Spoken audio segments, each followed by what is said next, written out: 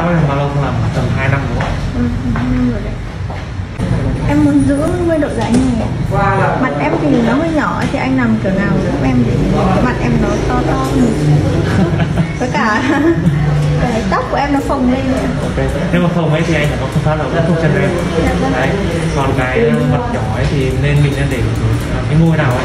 Ngôi nào thì nó tôn cái mặt mình lên chứ mình không nên làm một số kiểu mà cái mái nó che phủ nhiều quá trong lòng này không muốn tình qua nhiều thế ta